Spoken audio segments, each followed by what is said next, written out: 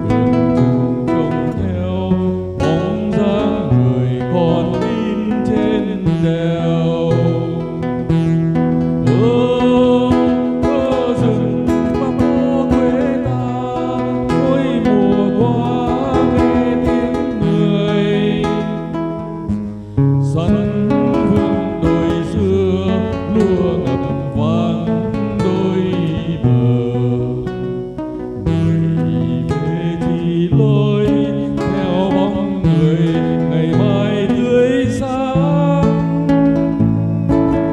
Bát cơm mong chờ người ta ước mơ.